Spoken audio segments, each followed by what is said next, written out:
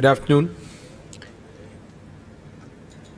Excellencies, distinguished delegates, ladies and gentlemen, I hereby call to order the third meeting of the 14th session of the Conference of Parties to the United Nations Convention to Combat Desertification. We are here to discuss CSOs, which form a very critical part of our decision making process. They are critical to our decision making because they add value to the subject at hand and bring a fresh perspective. I do hope that when we hear their views, we factor them in in our thought process as well as the general perspective that we have about things.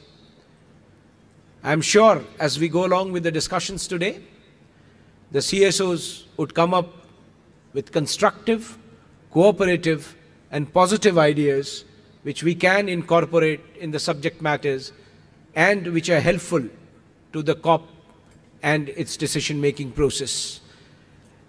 So I welcome you all today.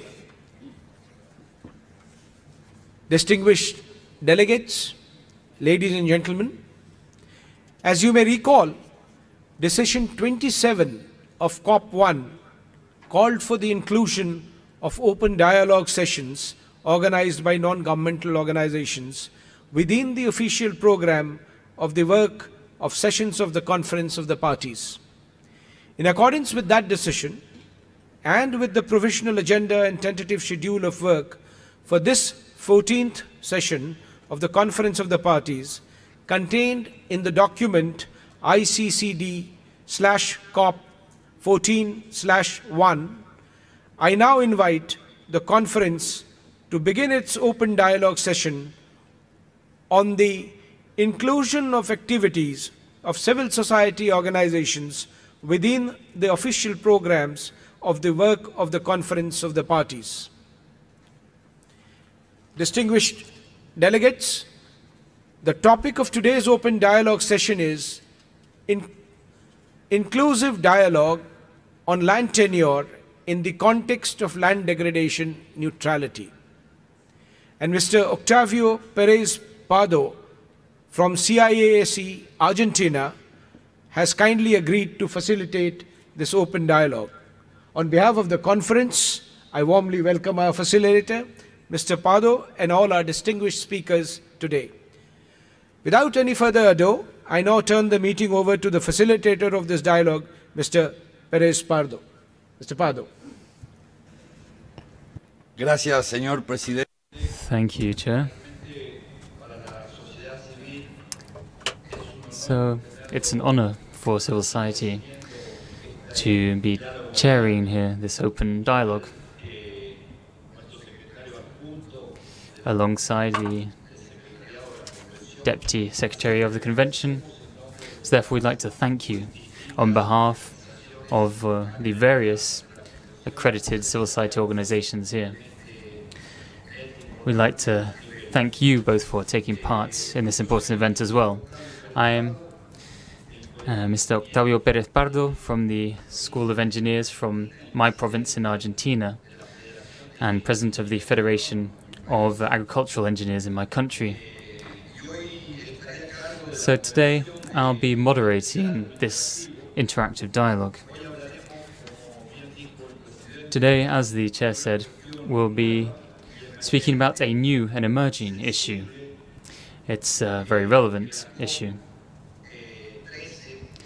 COP13 in decision 7 uh, took note of the voluntary guidelines on responsible land governance, fisheries and forests.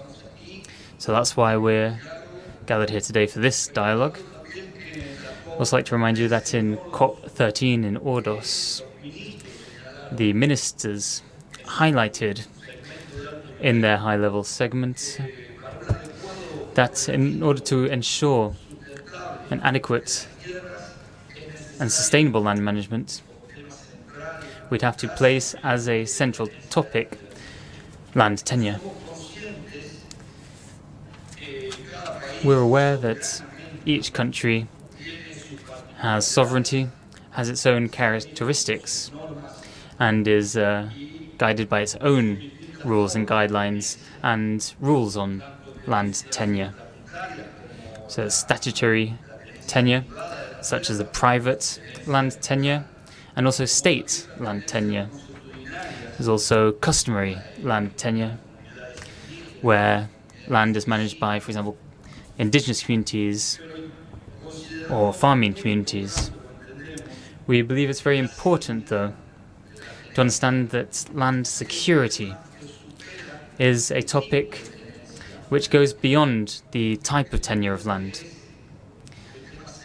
I think this is really a central element for our debates here today. Security in the land tenure regime in each country is undoubtedly a source of motivation in order to invest. It is undoubtedly a good link to food security as well, to the creation of jobs and employment, to reducing poverty, to ensuring gender equality.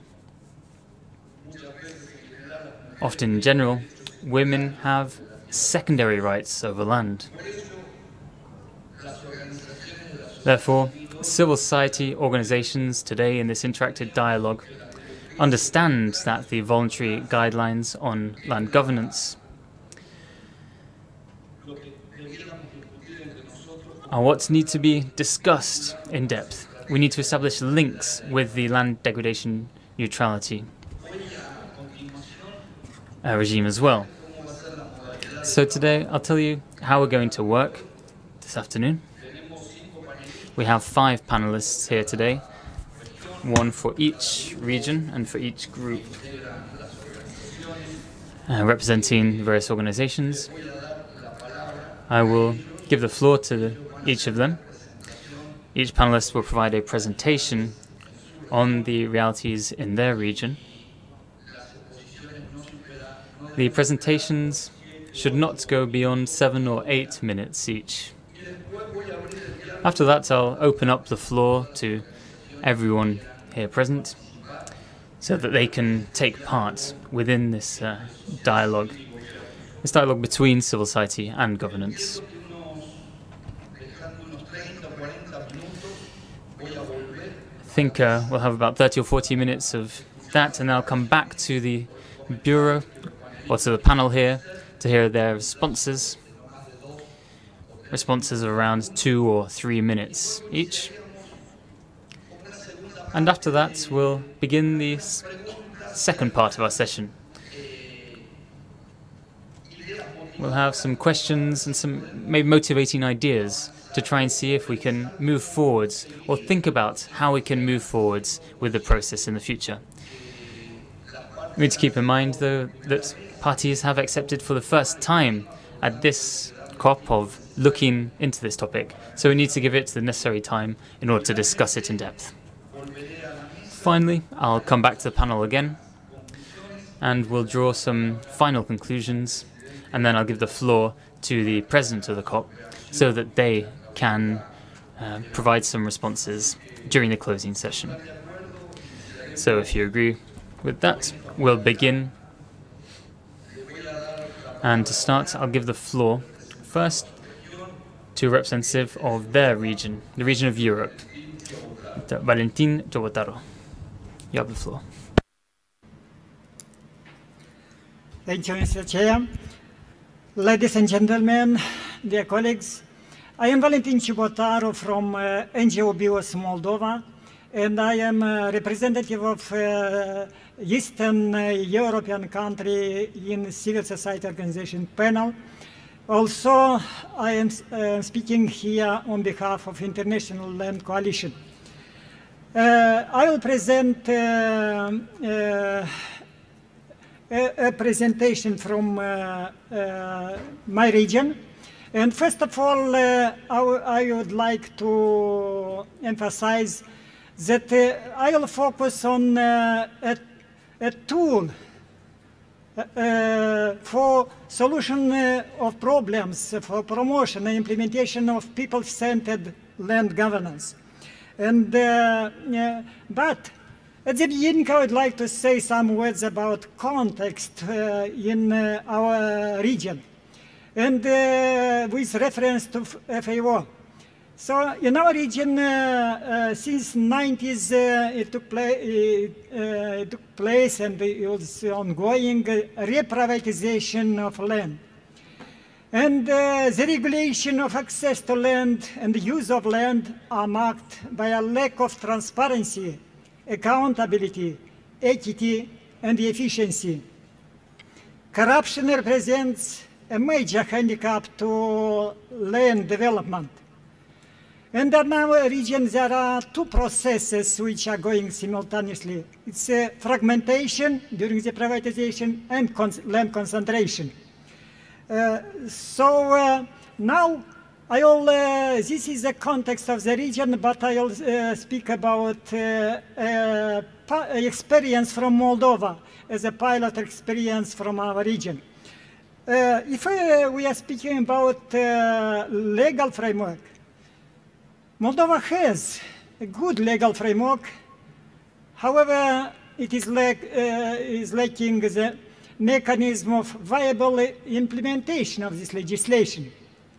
And uh, we did an analytical study in Moldova in uh, uh, many communities, and we didn't found any localities where people don't have problems. Farmers, landowners don't have problems with uh, land tenure.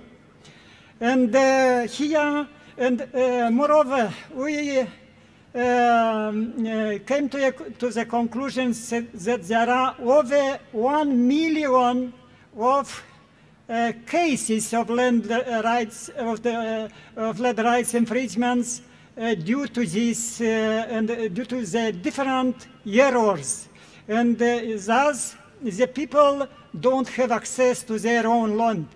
We have even cases where a decision of the court that uh, uh, in this uh, for positive solution of this problem. However, in this case, as you see, uh, during 15 years, the uh, farmer didn't receive uh, his own land, although she has the title deeds on this land. Uh, and o- errors are different. Uh, the farmers could find their own lands on in forests, in water basins, in uh, roads, and so on and so forth. Uh, even uh, they are in very degraded lands in gullies. So, with support of International Land Coalition, we uh, developed a national, national engagement strategy for the solution of these problems. And uh, we uh, um, applied bottom-up approach and discussed from the local level with all interested parties. And then we had uh, regional uh, uh, meetings and during a national workshop, we uh, uh, discuss this draft strategy and national engagement strategy and action plan. Uh, this was in 2017. Uh, now, uh, last year and this year, we are implementing, implementing this strategy.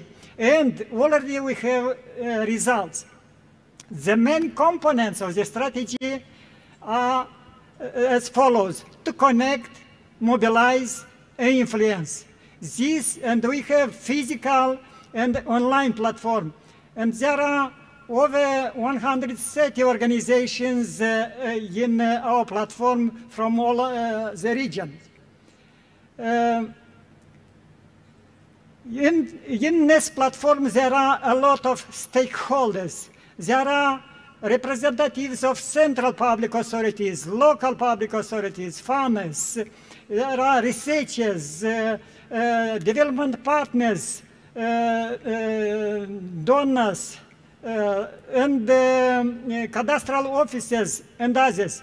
And all this uh, is supported by uh, international uh, land coalition. This is situation, is current situation in Moldova that each stakeholders, stakeholder try to solve this problem separately, but it doesn't work. So uh, uh, when uh, after the implementation of this strategy, but the, the first, the, this strategy is for the initial period of this strategy is 2017 2021 and then there will be extension and uh, after the implementation of the strategy we see that all these people will work together so, uh, uh, national engagement, uh, the platform of the national engagement strategy works as a bridge between all these stakeholders. And uh, we uh, made a lot of uh, lobby to change the situation. And uh, uh, uh, I would like to say that we have different working groups in this platform, working group of on land tenure, on LDN, on climate change, on organic agriculture and others. So each group develop, uh, uh, discuss the problems and develop recommendations together with uh, local and public authorities. And uh, uh, due to our activities, the government decided to develop a new regulation on solving the problem of property rights infringement. Uh, and uh, uh, this uh, uh, NEST platform is facilitator of this uh, uh, of development of this regulation and the path. Uh, and uh, we already have this draft, and we hope that uh, it will be approved this year. NES Moldova is included in the working group for development of this regulation, and we are included in many groups. We uh, were included in the group for development of um, Agenda to say, uh, to, uh, 2030. And again, due to our efforts and our colleagues from other uh, environmental organizations, we succeed to include SDG 15 in the National Development uh, Strategy 2030.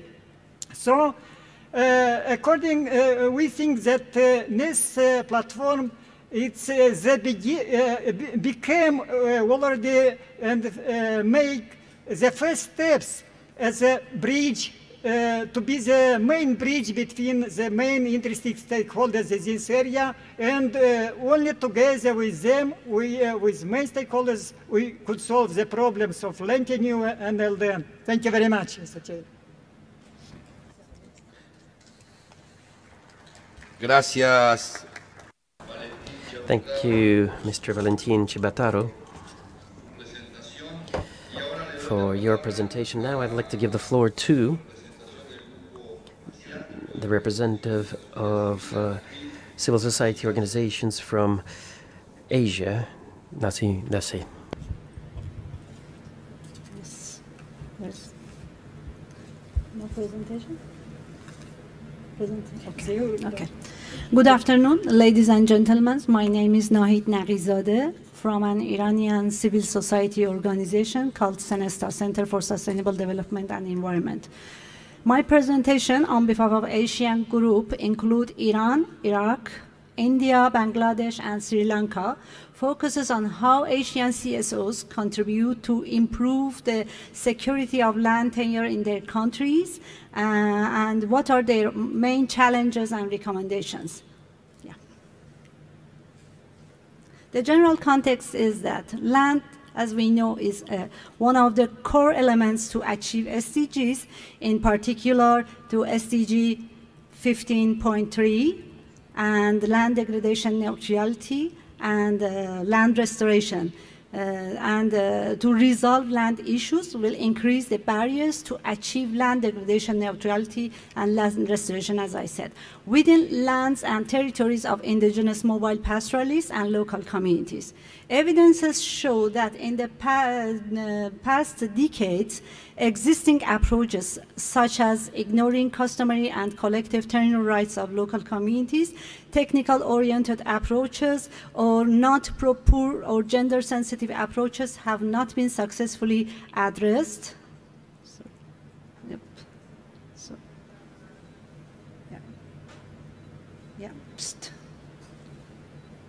Yeah. Address the land tenure issues majority of countries facing challenges on securing land tenure and decreasing pressure on natural resources due to lack of proper policies and regulations, war, displacement, people, allocation of communities' land to extractive industrials such as oil, gas, and mining, or big dam construction, urbanization, change of land use, in particular shifting the rangelands to, uh, sorry, shifting the rangelands to agricultural lands, and all these are very serious threats. Uh, there is an, so there is an urgent need to secure land tenure and land-based livelihoods of billion peoples in the world. In the past decade, new approaches have been emerging for conservation in general. At the heart of these new approaches, uh, I would like to focus on increased legal recognition of collective and customary tenure rights of indigenous peoples and local communities through indigenous community conserved areas and uh, territories, uh, which stands ICCAs. I will start with Iran. Since 2008, we started to promote understanding the concept of indigenous community conserved areas and territories, which is now accepted by in International Union for Conservation of Nature and UN Convention on Biological Diversity as one of the main type of governance categories for uh, uh, conservation of nature and preservation, restoration of lands and uh, natural resources. At the same time, we facilitated uh, to establish and register community-based organization at all levels, at tribal, tribal confederacy levels, and their uh, national unions as UNICAMEL, Union for Indigenous Camel Herders of Iran, and Union for Indigenous Nomadic Pastoralists of Iran, to enable those communities for policy influence and reclaiming their rights over their lands and territories. Also, we, and these are some uh, capacity building process with women in desert in west of Iran and in south of Iran with different nomadic pastoralist communities. And also we developed uh, detailed participatory maps of nomadic territories and their migration route using P-mapping and participatory geographic information system techniques to uh, know where the invaded lands, where the degraded lands, and where can ha they have uh, developed a community-driven project for land restorations. And uh, still, with such advances, strong challenges remain for implementation of appropriate legal recognition of customary and collective tenure rights of, uh, at various levels and appropriate policy and legal support for in-depth contribution of all stakeholders, in particular indigenous peoples and local communities in land restoration and conservation. Here we shift, uh, and this is a figure of some challenges for land uh, degradation in Iran. We shift to Iraq. After Islamic State in Al-Sham and Iraq, some provinces, such as Nineveh, had been totally liberated. The Iraqi CSOs started to respond directly to the returnees' need and address their challenges, such as land degradation for stabilization process in targeted areas, which is highly mentioned as agricultural, sorry, as agricultural uh, lands and uh, returned people were mainly depend on their lands and agriculture, so the necessary action was needed to act on their issues. So what Iraqi CSOs done, they enhanced and revived the land-based livelihood and food security for the returnees population with the aim of improving the stability of those peoples in terms of their land issues and livelihoods through land restoration.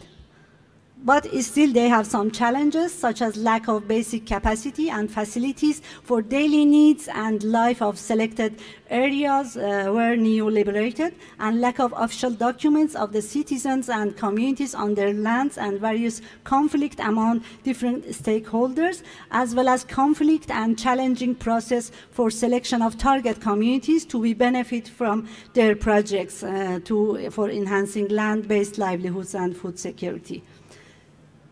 Now we are shifting to, sorry, we are shifting to uh, Indian subcontinent countries such as India, Bangladesh, and Sri Lanka with their own growing economic challenges and solutions. They also have lots of challenges such as increased degradation of land due to unsettled land ownership, restricted access of pastoralists to their pastures, lack of sensitization among farmers and pastoralists on land degradation, and access to land certification program and private ownership for agricultural land, and loss of land and productivity uh, from land loss, land degradation, and uh, disasters and climate change issues. And also exclusion of women, youth, and vulnerable groups in land-related decision-making process. Yeah. What are their demands in these three countries? They want security of land tenure for indigenous peoples, local communities, as well as for women, youth, and vulnerable groups. And they want to be ensure recognition of relationship between land loss, land degradation from climate disasters with uh, migration, loss of biodiversity and land tenure rights by the convention, nations, and civil society organizations. And they asked for strong focus on securing land tenure rights within UNCCD COP14 decisions and national uh, legal instruments. And what is our collective? These are our collective recommendations for the COP14 of uh, UNCCD uh, their inclusion, the representatives of indigenous peoples and local communities, CSOs, women, youth, and vulnerable groups in land tenure security decision-making process through a UNCCD COP14 decisions and capacity building of all stakeholders on strong implementation of FAO's voluntary uh, tenure guideline as a fundamental need for sustainable land governance at all levels and legal and policy support to recognition, collective and customary land tenure of communities and territories and their lands through community conserved areas and territories, ICCAs, which has been accepted by IUCN and UNCBD. And preventing land fragmentation of nomadic pastoralist territories and lands and stop allocation those lands to other purposes and developing projects. And Finally, policy, legal, and financial support of displaced peoples due to war and political conflicts through land degradation neutrality projects in liberated areas of Iraq and other uh, affected uh, areas from national and international bodies. Thank you so much for your attention.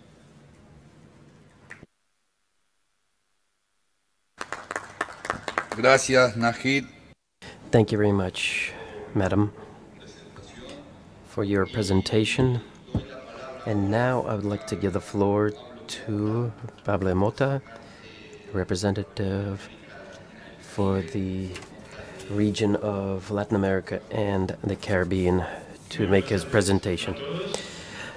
Good afternoon.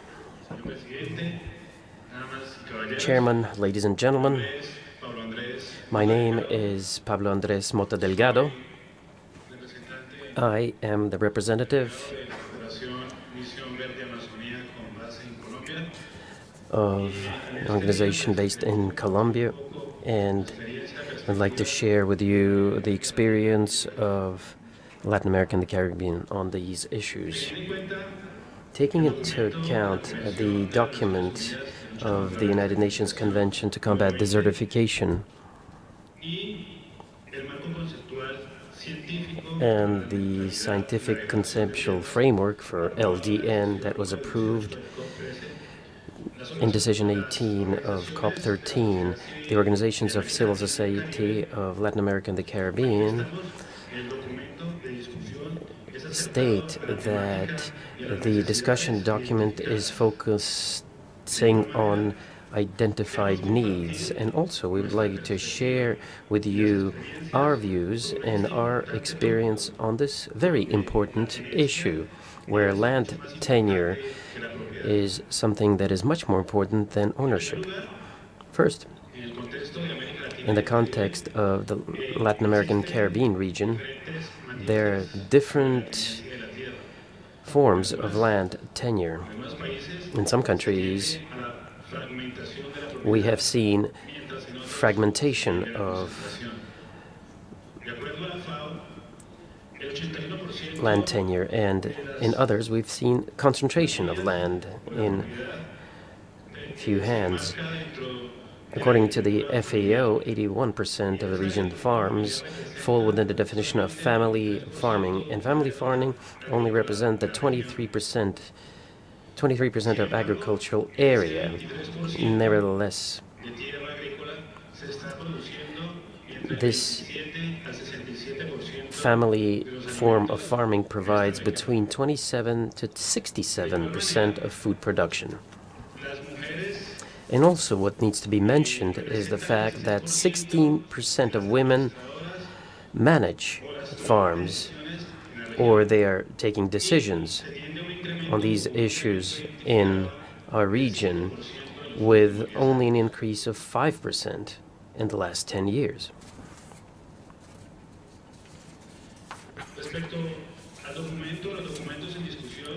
Now, in connection with the documents that we're discussing, civil society organizations have looked into certain issues related to land tenure, and we believe that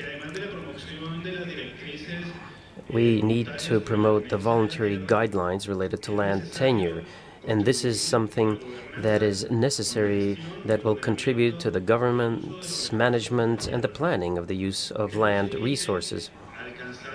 And this can help us achieve LDN and ensure that in the long term we may avoid conflicts related to the use of land. Also, in addition to statutory tenure and customary tenure that the documents discuss. What needs to be also mentioned are land concessions made by governments to private enterprises for use of natural resources that are found in these lands. And this form of tenure cannot be considered to be as statutory or customary. In this respect, it would be necessary to consider this type of land tenure for the definition of VGGT. And I'm again repeating that this, what I'm talking about here is concessions, land concessions made by governments to private enterprises.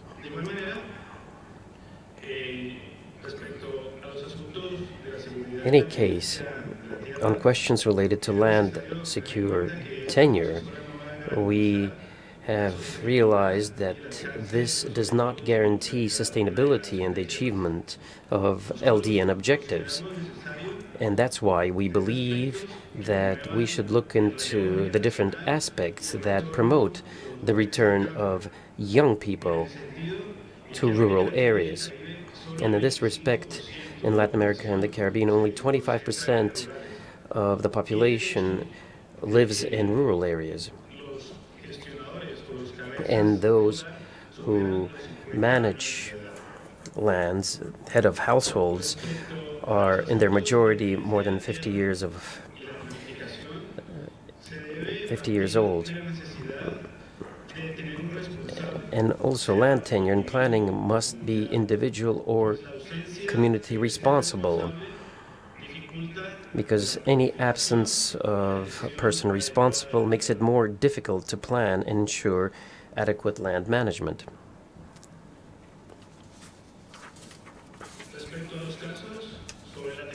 Now, I'd like to look at specific examples of land tenure in Latin America and the Caribbean. And we have the example, for example, the Quebradeiras de Raiz de Coco Babaçu in Brazil, where associations of women promoted a system of land tenure for the use of natural resources in private properties. Poor women without any access to land, which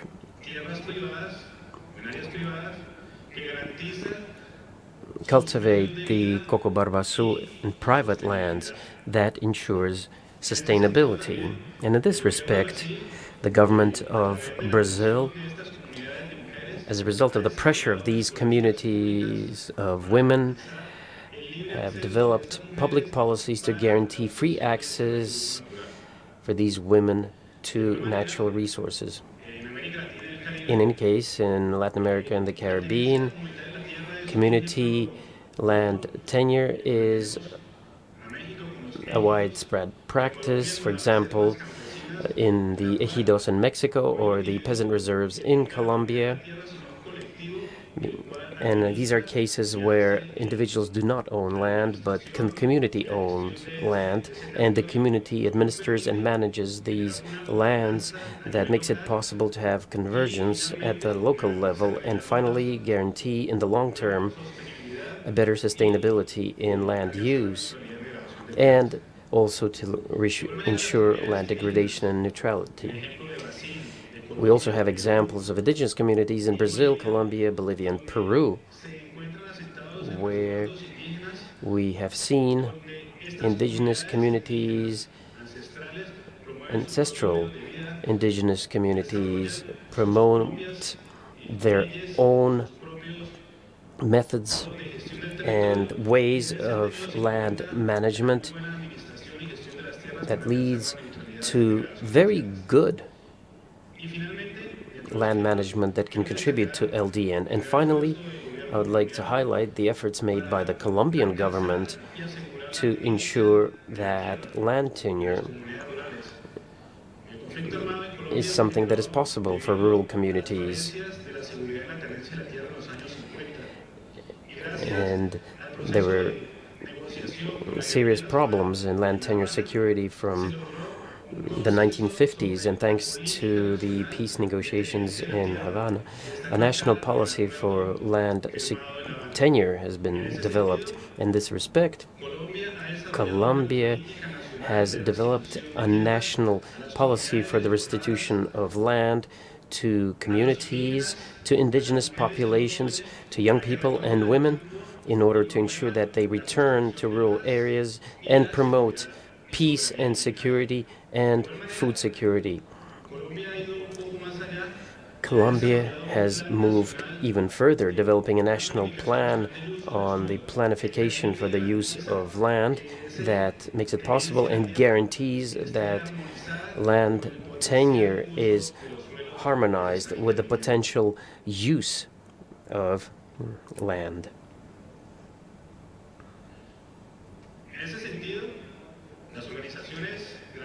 And here, civil society organizations play an important role in ensuring that land tenure policies make it possible for us to achieve objectives of LDN by integrating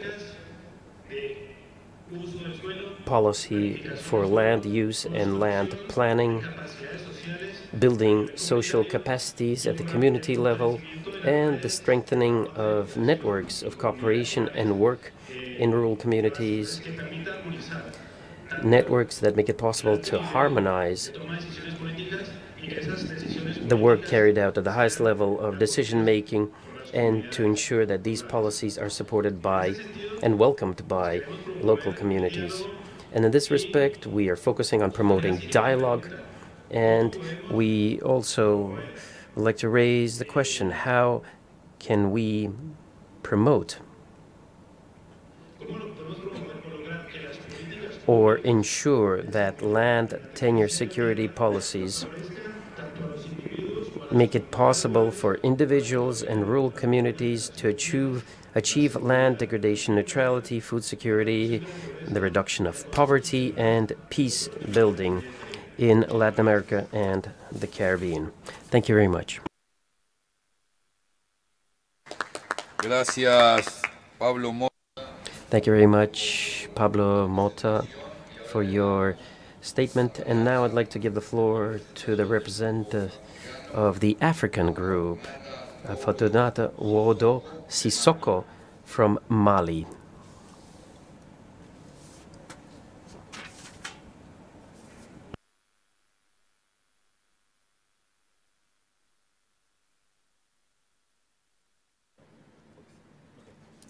Merci bien. Thank you very much, Mr. Moderator. Chairman, ladies and gentlemen, my fellow panelists, ladies and gentlemen, good afternoon. My name is uh, Miss Sissoko. I present the National Network of Women from Mali and our partner organization from the Network on Desertification. It is an honor for me to take a statement on behalf of NGOs in Africa and present the specific case of Burkina Faso on questions related to land tenure.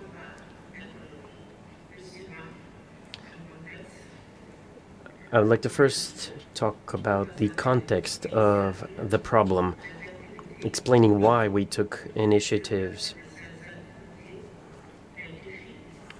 And then I will focus on the impact of what has been done, the challenges that we face, and then I will make some concluding remarks. First, the context. Burkina Faso adopted in June 2009 a law on rural land tenure, Law 034 2009 stroke AN. And after the adoption of this law, with the support of the Millennium Challenge Account, MCA, we prepared a guide for land tenure security. And in order to make it possible for women to have access to property titles, a dozen of organizations, member of SPONG, which is a network of NGOs, carried out actions on the ground that were based on the contents of the new guide on land tenure. Now I'd like to turn to the problem that led to the adoption of this initiative. And the main problem was, of course, the absence of land titles, which has led to the appropriation of lands that were exploited by women. And also, this has created difficulties in carrying out long term activities on land plots. And also, some lands were confiscated in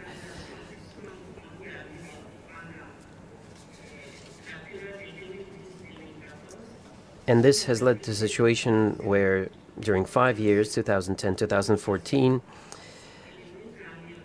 associate members of the SPONG network carried out information and public awareness activities, communication activities, training, and they implemented special programs targeting land tenure communities of villages and also commissions of land tenure reconciliation in villages. The impact of this work has led to the provision of 1,124 certificates of rural land tenure to women in 47 communities of Burkina Faso. And this made it possible to adopt good agricultural practices, good forest related practices, and the restoration of soils through half moons, stone cordons, and composting.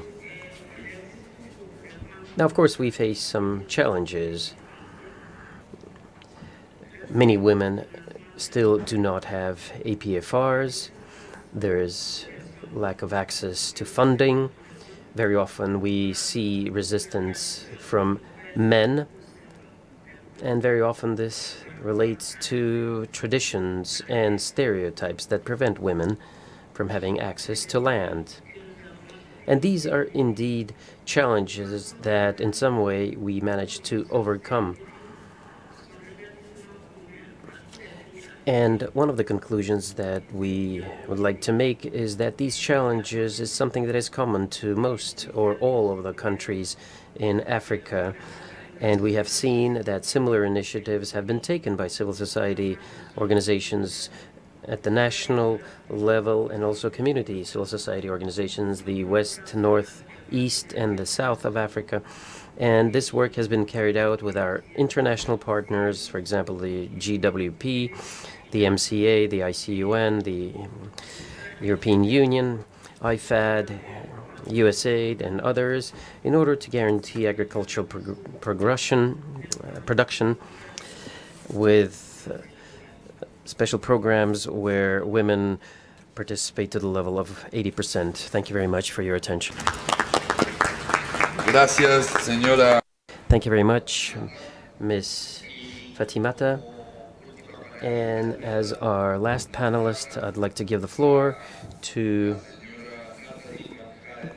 Ms. Nathalie van Haren from the Netherlands.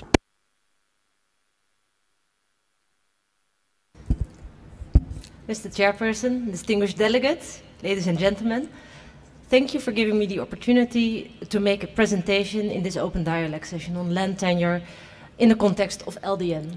My name is Nathalie van Haren. I work at Both Ends, a civil society organization in the Netherlands, working with CSOs all around the world on inclusive natural resource management, on international capital flows, and on trade and investment agreements.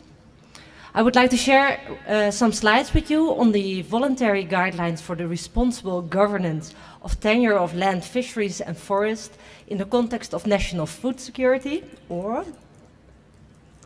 in short, the voluntary guidelines on tenure. Um, almost, yes.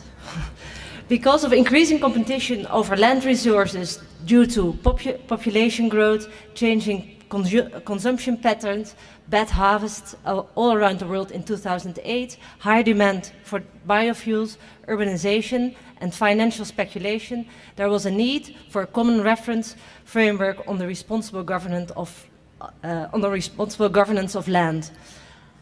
Mm.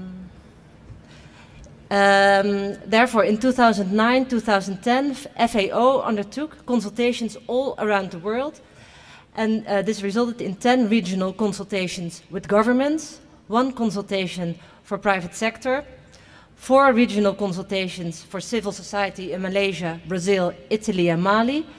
And uh, this resulted in over 1,000 people from uh, 133 countries that, that, who were actively engaged in this.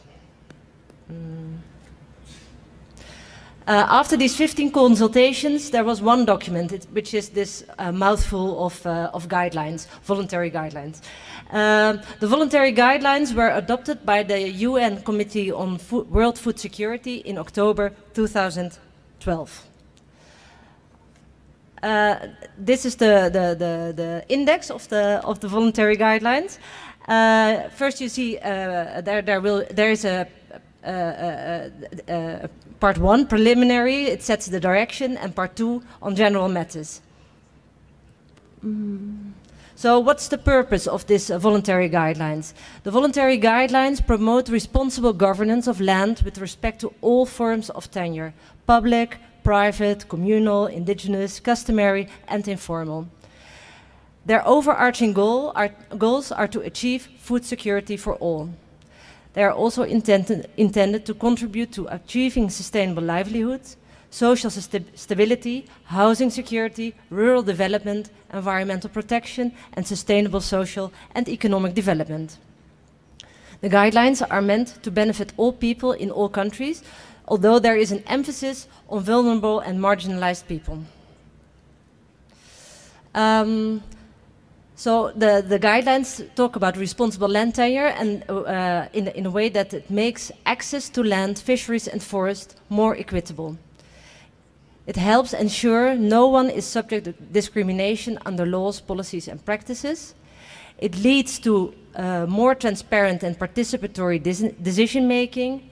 It helps ensure disputes over are, disputes are resolved before they de degenerate into conflict, and uh, it simplifies the administration of tenure and makes it more accessible and effective to all. So the third part is on legal recognition and allocation of tenure rights and duty, duties, and uh, address the legal recognition of customary and or informal tenure rights of indigenous peoples and other communities. Uh, the fourth part is about transfer of tenure and other changes to tenure rights and duties, and it addresses the tenure or re reallocation of existing rights and the associated duties. Then part five, it's on administration of tenure, and it addresses the administration of land users' rights, uh, it, on, on, records, on valuation, on taxation, on, on spatial planning, uh, on disputes and on transboundary matters. Part six is, uh, is uh, on climate change and uh, natural disasters and conflicts over tenure. Um, and part seven is on the promotion and implementation and evaluation of uh, tenure. The power of the voluntary guidelines is that they provide a framework that states can use on a voluntary base. They allow government, civil society, the private sector, and citizens to dialogue and agree on proposed actions. They encourage states to develop multi stakeholder platforms to work on the implementation of the guidelines. They acknowledge that land governance is a step by step process that leads to transformative action on land tenure. The power of the voluntary guidelines and the UNCCD. As, as the tenure guidelines were developed by so many actors that relate to and deal with land, there's an enormous support to implement them. The tenure guidelines are increasingly reflected in international agreement, agreements such as the Rio Plus 20 document, but also in the conceptual framework for land degradation neutrality. The conceptual framework for land degradation neutrality of the UNCCD Science Policy Interface recognizes good land governance as an important condition to achieve LDN and the Sustainable Development Goal 15.3 target. It recognizes that the implementation of the tenure guidelines is central to how land degradation neutrality can be pursued with less risk and unintended uh, consequences associated with land tenure insecurity, land appropriation, and land conflict. The 2019 UNCCD SPI publication on an enabling environment for LDN that was discussed uh, last Tuesday, I believe, in CST, also recommends to implement the voluntary guidelines. So I, I go now, uh, uh, I would like to, to, to, talk a little bit about countries working on implementation of, on, uh, of the voluntary guidelines. You see in this, in this uh, little map that, um, which I stole from FAO, um, uh, that, that a lot of people are, a lot of countries are already implementing parts of, of this, these guidelines. So uh, these are the countries uh, working on the multi-stakeholder platforms as proposed in the tenure guidelines. So again, several. These are countries working on policy and legal review, uh, review and formulation to implement the voluntary guidelines. So there are uh, uh some countries that already finalize processes of review or formulation of policy and or leg le legislation incorporating governance of tenure. And uh, there are some uh, countries, uh, there's, there's uh, in some countries an ongoing process, so it's 29 countries. There are countries working on improving their land administration system with tenure guidelines in their, in their hands. Um, And there are more initiatives going on. Countries like France, Germany, and the Netherlands are adopting the voluntary guidelines in part of their national procedures. FAO has developed with countries and CSOs a support program on tenure, including capacity development. CSOs, coordinated through FIAN, have developed a people's manual on the voluntary guidelines. and CSOs all around the world are translating the ten tenure guidelines in local languages. For example, in Malawi, in Senegal, in Sierra Leone, and in Guatemala. Um, that was it. Thank you.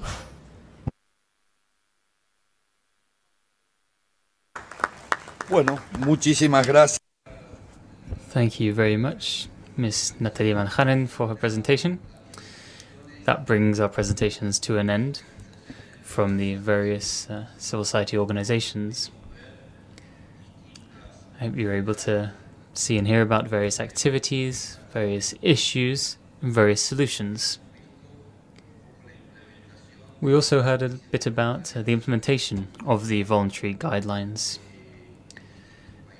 within a number of countries. Now I'm going to open up the floor and open up this interactive dialogue. I would like to invite anyone who wishes to take the floor to provide any responses or comments to do so. I would also ask civil society to speak up as well. I'd ask them to take the floor to present their organizations and from what countries they're from. Therefore, I open up the floor for everyone who is present here. Thank you.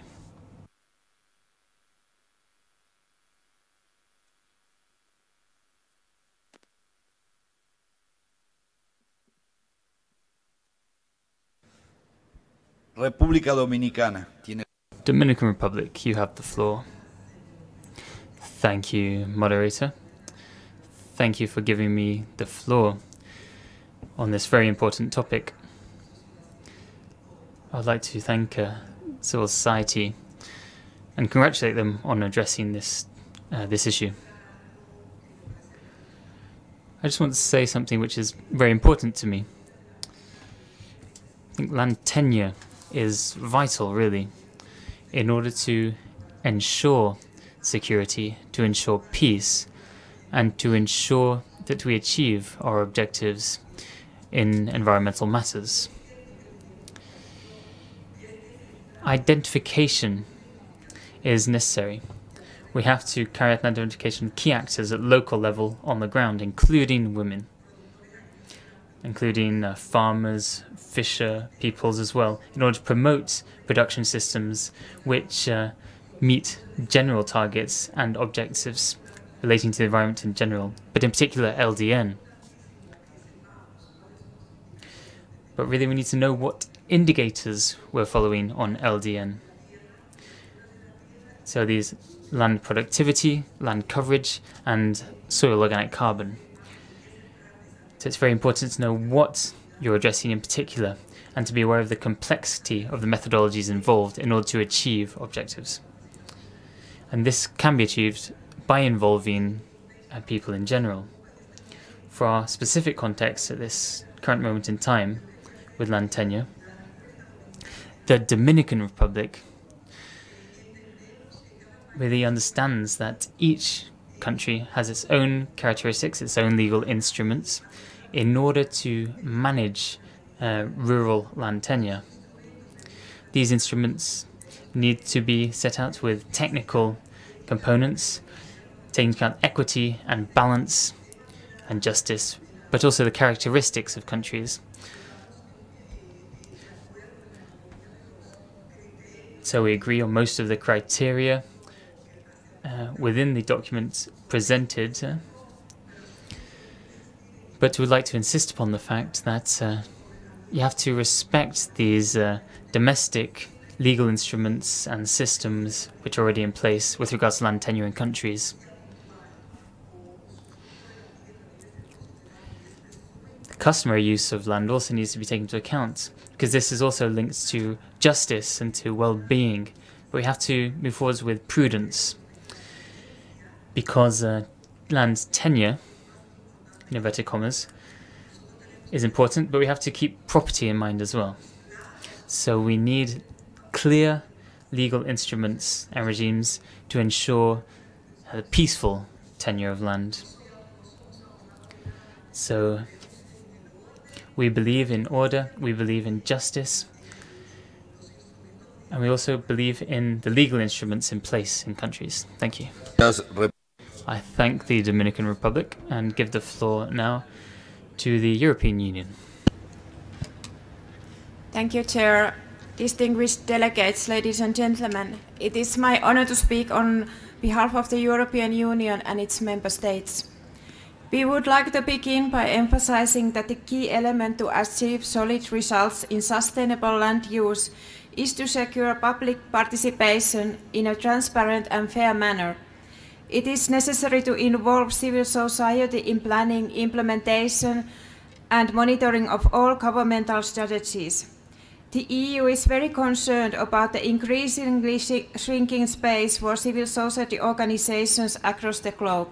Civil society should be considered as an essential partner, and the EU will actively pursue opportunities for CSOs to engage with decision makers, be it at the local, national, or global level. Furthermore, we must acknowledge that it is primarily due to the efforts of the CSO over the last years that the issue of land tenure is on the official agenda for this COP14. It is clear that advancing land degradation neutrality happens at the local level and needs an enabling environment and land tenure is a key in this regard. There is a risk that without secure tenure or ownership, the targets and engagement to sustainability at local level are not addressed. This is in turn could lead into a situation where only immediate gains are targeted, whereas the underlying causes of unsustainability remain unsolved.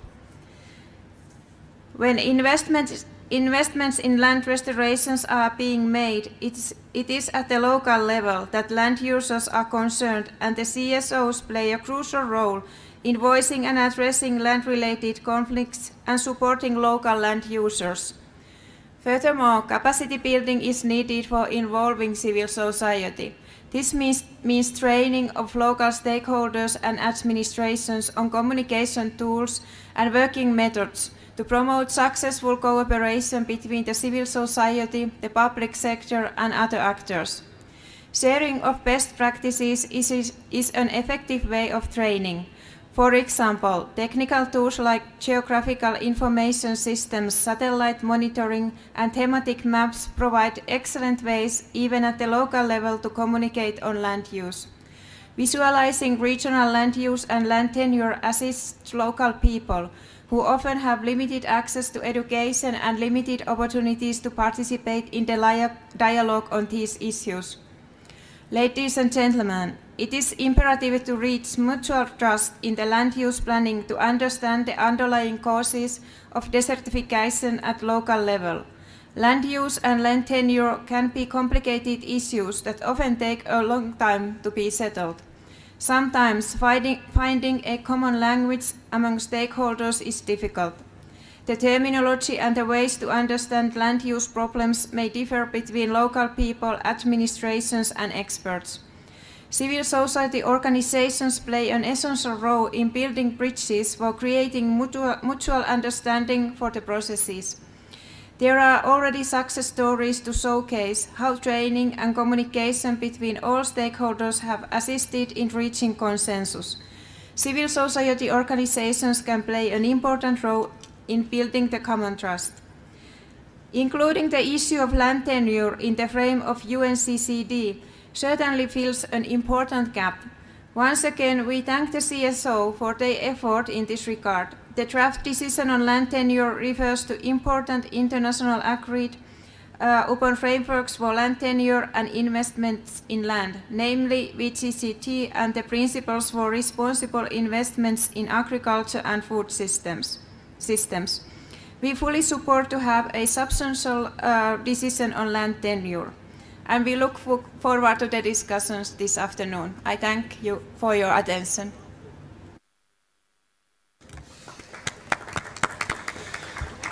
Muchas gracias a la Thank you very much to the representative of the European Union. I now give the floor to the representative of Argentina.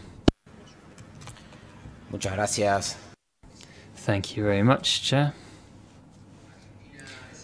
Argentina would like to thank the representatives of civil society for their presentations.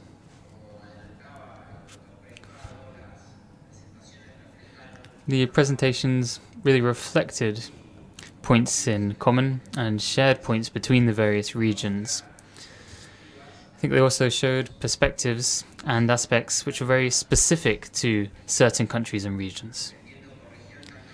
By region, I mean both supranational level and provincial or state level, and even local or municipal level. So the relevance of land tenure cannot be denied. It's a central issue within the Convention and has direct link with national circumstances and situations. We can't make general statements. Given what was set out during the presentations, I'd like to highlight the need to guarantee the legal rights of uh, rural populations in terms of land tenure, but we also need to recognize the rights of persons who migrate to cities as well, if they wish to do so. Often this migration is uh, perfectly compatible with improvements in the quality of life of the people who are moving and improvements in environmental standards as well. Often, nature benefits more from the lack of people on the ground than by our presence. In other areas, our interventions are paradoxically necessary in order to correct unsustainable practices carried out in the past. In many cases, urbanization is a result of modernization and will undoubtedly continue in the future as an expression of the desires of populations. For example, Argentina has traditionally been a strongly urbanized country. More than 92% of the country at present lives in uh, cities. Thank you very much, Chair. Gracias. I thank the representative of Argentina and now give the floor to the representative of the Democratic Republic of the Congo.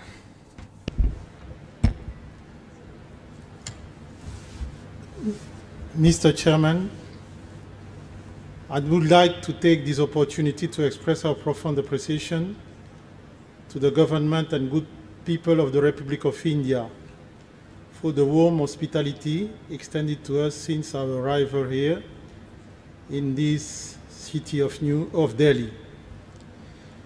The African region has taken note and endorsed the conclusion and recommendation presented by the UNCCD in document ICCD COP 1420 regarding land tenure rights, security and land governance. We also recognize the need for countries party to take center stage in, in building upon and implementing the recommendation for improved land governance toward achieving our LDN target and the objective of the UNCCD uh, strategy. Mr. Chairman, this notwithstanding, we observe that the effective implementation of the recommendation and the enormity of the issues involved go beyond the capacity of individual, individual governments. A concerted effort involving all relevant stakeholders, which include national government, the international community, funding agency and sources, private sector business entities, the UNCCD, UNCBD, UNFCC, and CSO would be required in the area of capacity building and knowledge sharing, among others. I want therefore to express our thanks to the CSO for all their very interesting presentations. Mr. Chairman, of particular relevance is the integration of land tenure issue, LDN, SDGs, and national strategy. In this context, technical assistance and funding will be needed for the implementation of the following activity, activities as elaborated in document ICCD COP 1420. First, our awareness, awareness raising and its accompanying capacity building.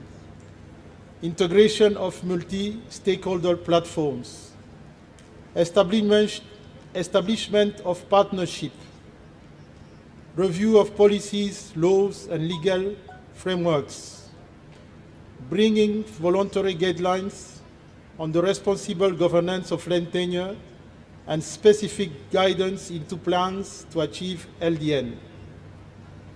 The gathering relevant data, funding the investment in the integration effort, social and environment, environmental safeguards, integration into national policies. Thank you, Mr. Chairman. Muchas gracias. Thank you very much, representative of the DRC. For your comments, I now give the floor to the representative of Colombia. Muchas gracias. Thank you very much, moderator. I'd also like to thank the panelists for their very interesting presentations. Colombia would also like to thank the Secretariat for drafting the working documents on land tenure. Colombia recognizes that the lack of legal security on land tenure is a factor which, uh, amongst others, has an impact on land degradation processes. In this regard, our country is working at national level on tangible measures, including targets and indicators, aiming to create the conditions necessary so that land tenure and uh, productive land use planning can develop uh, fisheries, productive inclusion, and legal security. We're also implementing land restoration processes and restitution processes as part of the integral reform, including an agreement on an end to conflict. In this regard, our policies include the main instrument, which is the National Development Plan. These all recognize that one of the main measures to control deforestation and to avoid uh, land degradation is to address land tenure through the implementation of the real estate uh, registry to ensure that they're not uh, unduly occupied or degraded. We're also implementing programs for the legalization of lands and the promotion of rural development for indigenous and Afro descendant communities at national level. With regards to the document, which has been submitted for our consideration within this COP, Colombia shares the position that uh, at a conceptual level, land tenure can have an impact on and influence land degradation and desertification. But we believe that it's important to take into account national circumstances which vary significantly from one country to another on this topic, as you can see from the panel here. Therefore, before integrating new variables in the analysis of degradation processes, we would suggest focusing efforts on the improvement of processes already underway. These should focus the attention of the Secretariat and parties, in particular, the report on the five strategic objectives, access to information with regards to the progress indicators through the strengthening of national databases, and transformative projects to combat desertification, land degradation, and drought, and to achieve the voluntary targets on land degradation neutrality. So at the current time, we would not believe it relevant to include new reporting obligations, which would make uh, the collection and presentation of information even more complex. Thank you very much. Gracias. I thank the representative of Colombia and now give the floor to the representative of Brazil. Thank you very much, Mr. Facilitator, and uh, thank for all the presentations that came. They were all very instructive and uh, enriching in showing that this topic uh, really highlights the diversity of circumstances through the regions while also confirms that it is relevant to all countries and regions. Um, in some interpretations, in some pronouncements, perhaps if one was not aware of the larger context, um, it would be easy to take the interpretation that some views see this topic as targeted only to some countries or only to some regions and um, not pertaining to, to challenges that are actually uh, relevant even to the most advanced and consolidated economies. It is really a global topic and that demands a wide variety of stakeholders.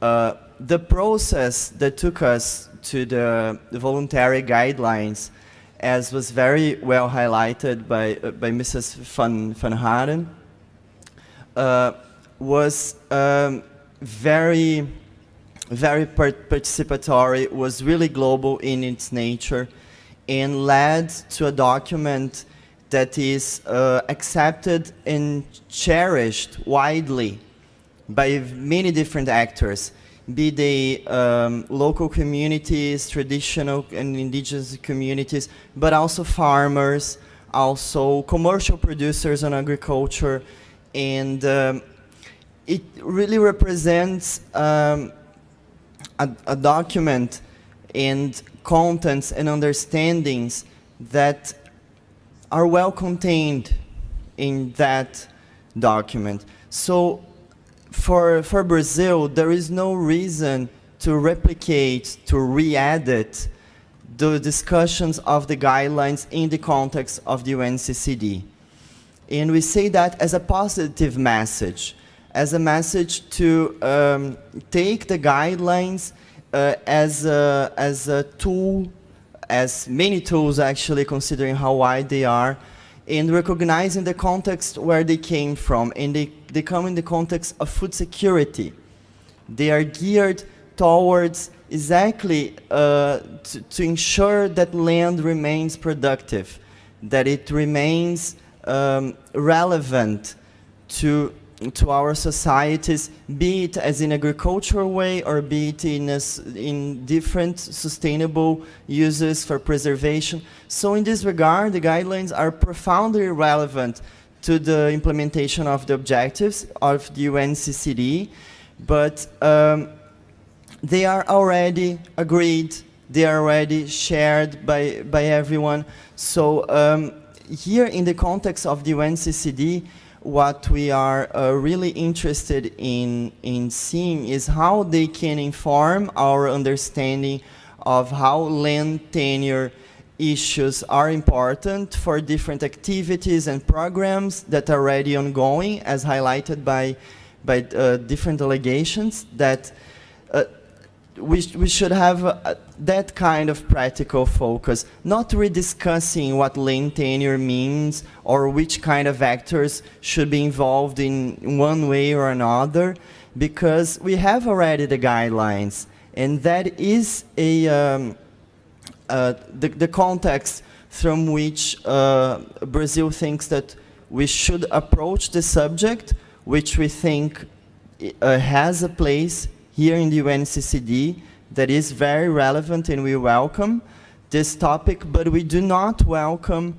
rediscussing the guidelines or trying to re-edit them, re-editing them in a different context from, than that which uh, it comes from. Thank you very much. Muchas gracias, representante de Brasil. Thank you very much, Brazil, for your statement. I now would like to give the floor to the representative of Gabon. Merci, Monsieur le Thank you, Mr. Facilitator. Since Gabon is taking the floor for the first time, I'd like to express my sincere gratitude to the people and the government of India and also thank the Secretariat for the documents and thank the panelists for their excellent presentations. Gabon supports the statements that are made by the African group and by the LDC group. We'd like to focus on two things. First, relates to the land tenure regime. Simply to say that these systems are different in different countries, something that needs to be taken into account. And also, these differences should be respected when we look at the national context.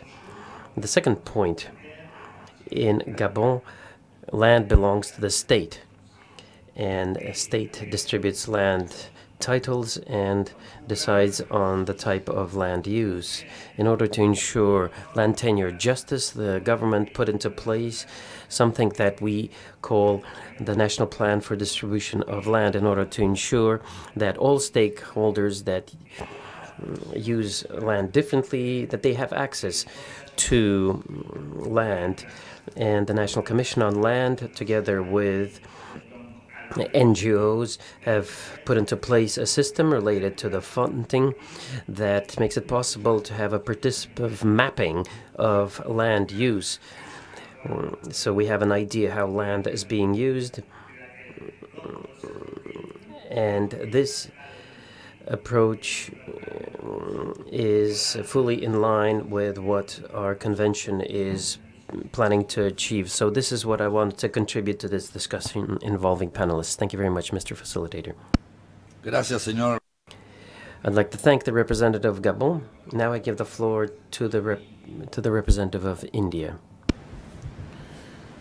Thank you, Mr. Chair. Uh, as per the provision of Rule 10 of the Rules of Procedure of the COP, the second intersessional meeting of the COP13 Bureau held in China endorsed the inclusion of new agenda item on land tenure under new and emerging issues for consideration of for COP14. India appreciate the inclusion of land tenure as a new agenda item and it as an emerging issues globally. India being an agro-based economy completely agrees with the linkage between tenure security and land degradation.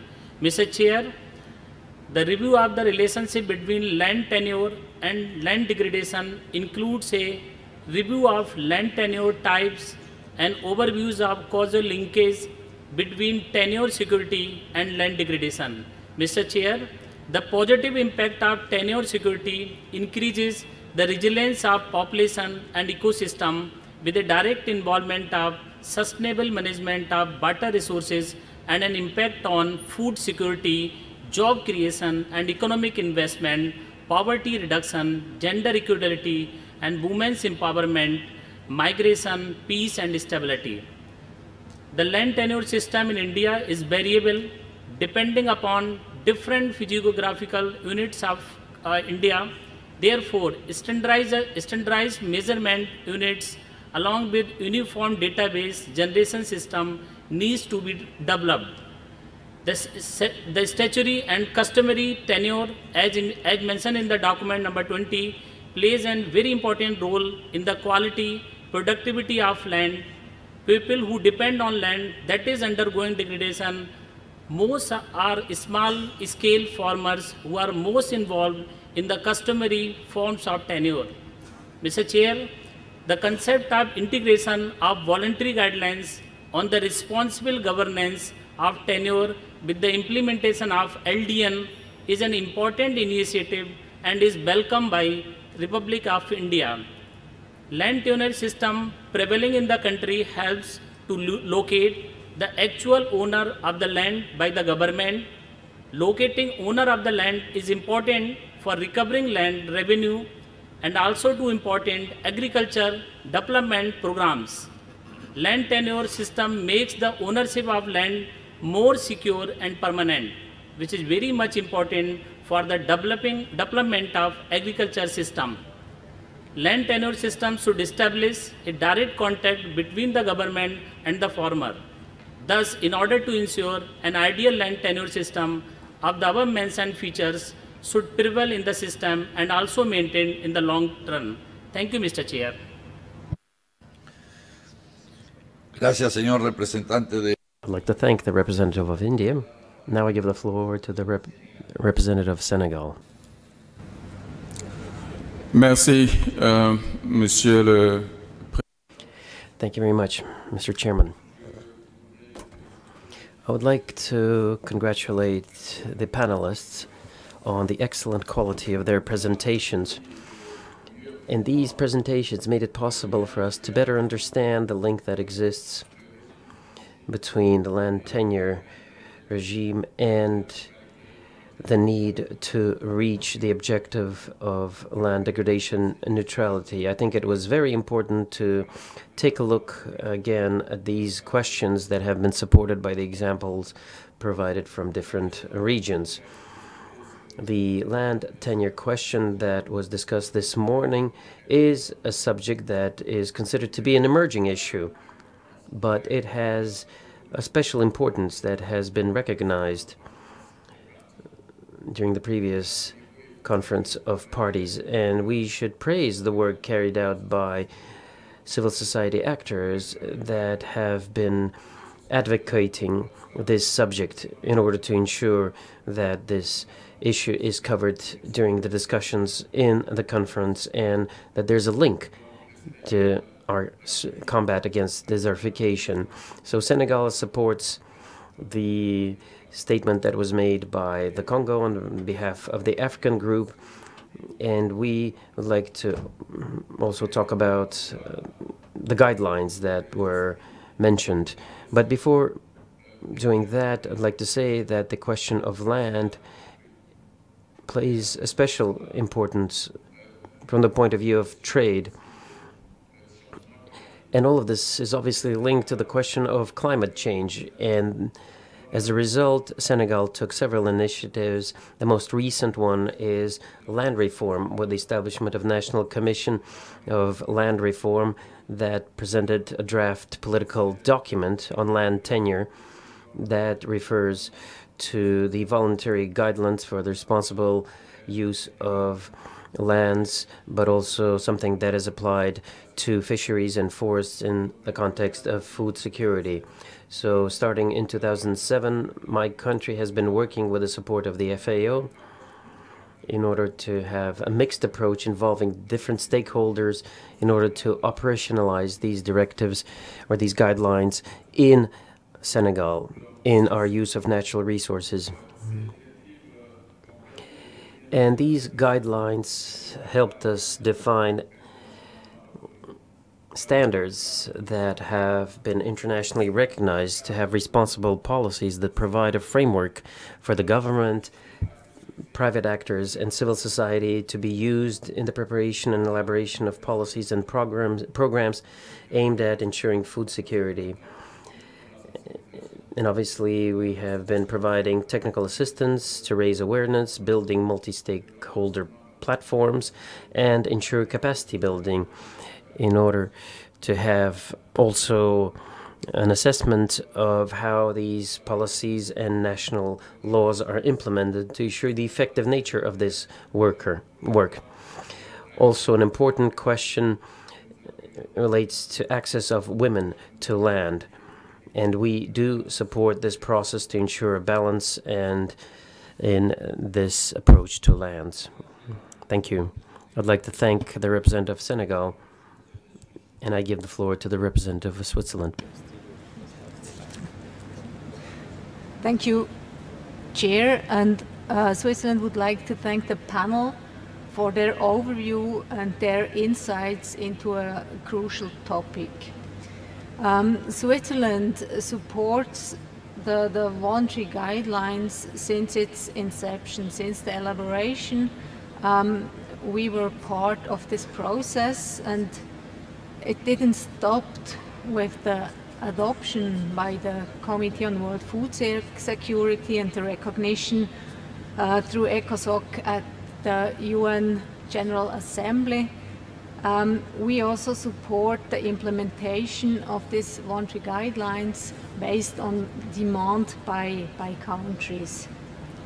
Uh, we believe that in the context of the convention and the and land degradation neutrality secure tenure rights, especially the, the legitimate tenure rights, but also the, the customary rights are key. If a farmer should invest in his land to have healthy land, um, for future generations. He also want to um, get the yield out of his investment and um, have the crops or get the crops he or she produced. As combating desertification, land degradation takes time to get healthy soil. Um, you need to have uh, secure tenure rights. Switzerland believes that there will be no land degradation neutrality without secure tenure rights. Um, especially when you look at women and, and tenure rights. There are few women compared, or the percentage of, of women um, having land and having secure land rights is quite low compared to men. But on the other side, when you look how much um, work women uh, provide to, to um, on, in agricultural work, but also for the agriculture production, um, it, they exceed the, the amount of work men do. So we believe um, to have secure tenure rights is key, but also to focus on, on gender in this regard. Thank you, Mr. Chair. Gracias. Thank you to the representative of Switzerland, and now I give the floor to the representative of Burkina Faso.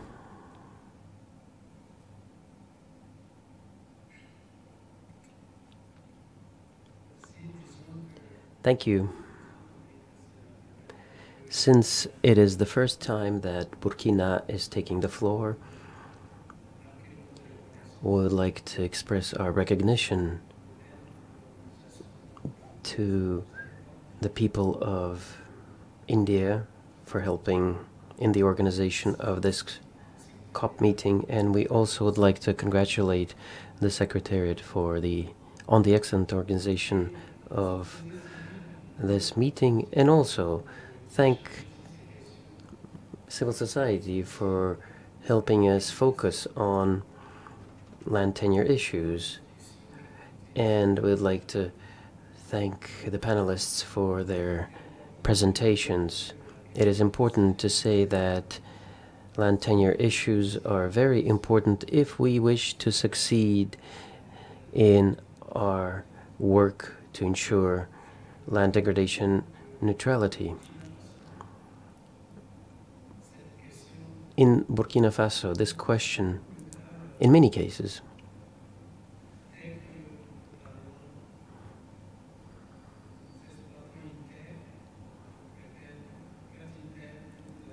especially when land is used.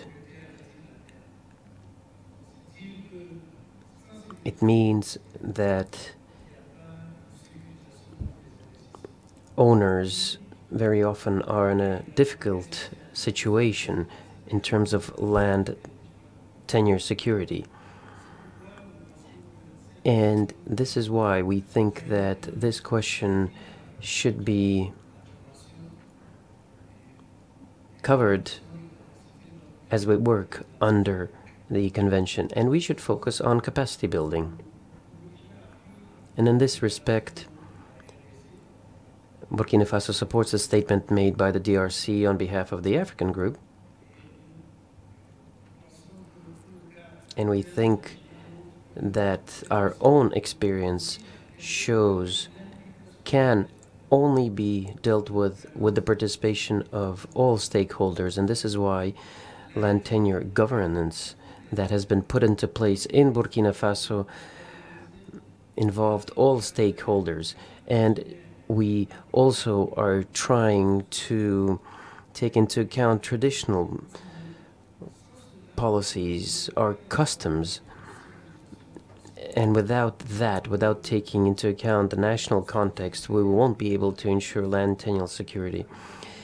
And we should see, together with the Secretariat, how we can take advantage from different national practices and ensure capacity building, taking into account the experience of different countries in order to be successful in ensuring land degradation neutrality. Thank you. Gracias. I'd like to thank the representative of Burkina Faso. And now I would like to give the floor to representatives of civil society. Please present your organizations and your country. You have the floor. Thank you very much. Uh, I'm Tanveer Arif, coming from Pakistan, representing SCOPE and International Land Coalition. And I'm pleased to say that uh, I'm happy that we see this uh, issue of uh, land tenure on the agenda of UNCCD as we were the instrumental in introducing this subject during COP9 when we along with International Land Coalition organized a side event uh, at COP9. So this is an essential subject in the context of uh, combating desertification and land degradation neutrality. As the land is experiencing a lot of pressure due to climate change and corporate agriculture in various countries, such as my country in Pakistan, uh, land is being rapidly degraded and uh, there is a need to, to reform the land governance laws. So we think that uh, these voluntary guidelines, VGTT, provides excellent opportunity to transform uh, action to the grassroots level. And uh, in this context, we, the CSOs, would like to see these VGTT as becoming an legal instrument at the national level by involving civil society organizations. As we all know that uh, civil society organizations have rich experience. Uh, they work with the indigenous people, they work with the uh, local uh, populations and women groups.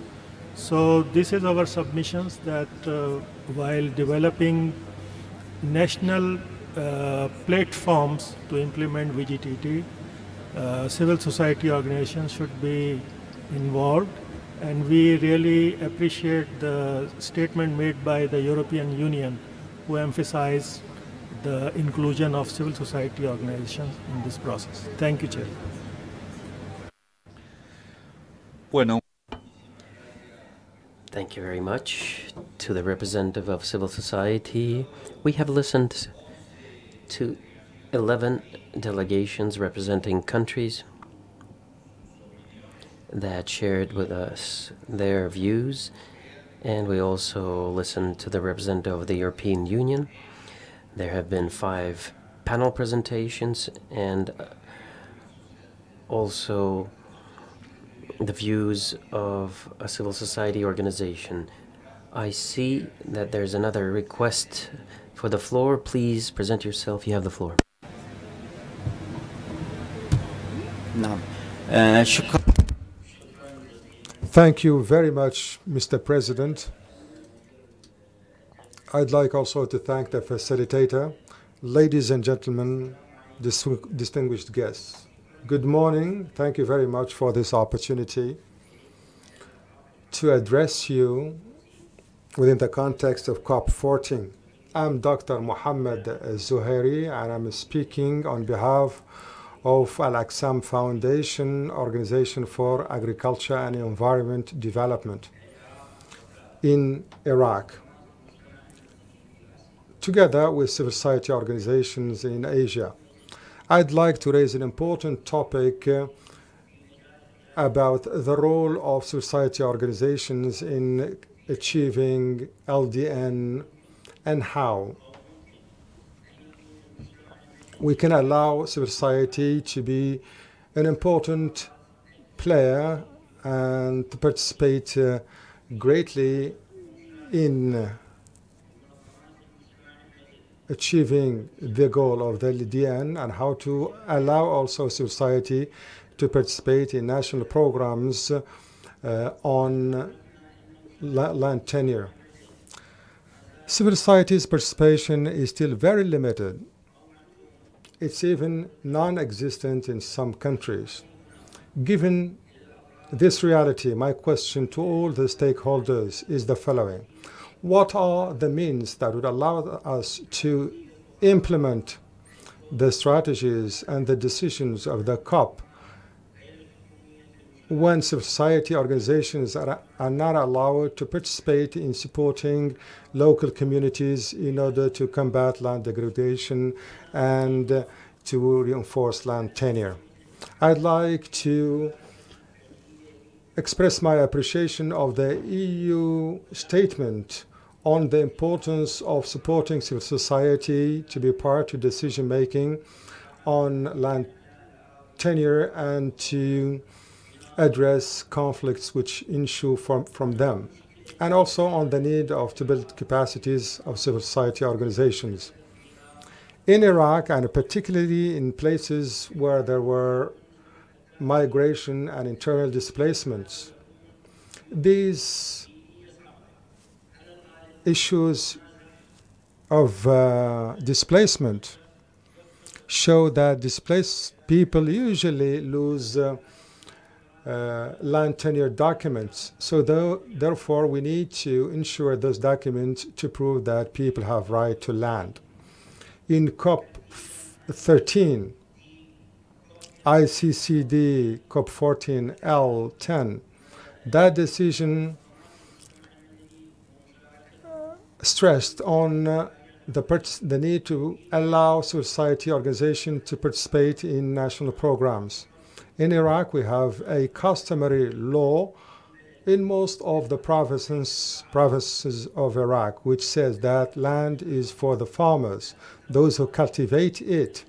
However, influential people and corporations stand in the way of farmers' rights, particularly female farmers' access to lands, given also tribal traditional uh, uh, norms.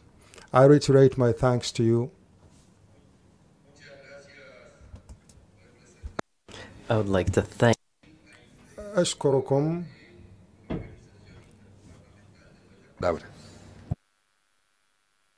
أحيل الكلمة I give the floor to the representative.